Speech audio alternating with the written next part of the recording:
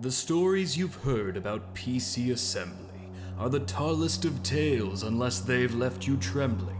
If you're not frozen with fear yet, you are soon to be. Here are the scariest moments when building a PC.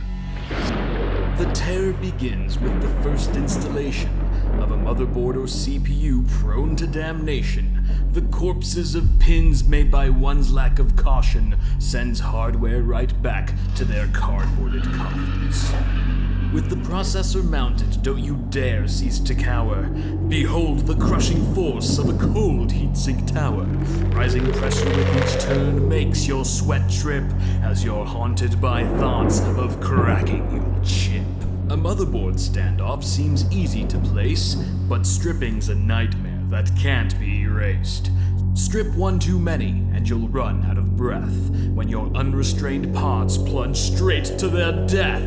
Now you've made it this far, and your vitals are stable. Then a panic attack grips you with an entrail of cables. You've tied and you've tied, but can't seem to hide the tentacled serpentine hellbeast inside. The chilling conclusion does the greatest fear spawn. Your finished PC refuses to turn on. Lifeless and dark, she fills you with dread. Would it really have killed you to buy a pre-built instead? That is the fate of this hair-raising ride.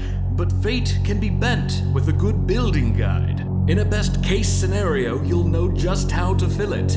I promise the next build won't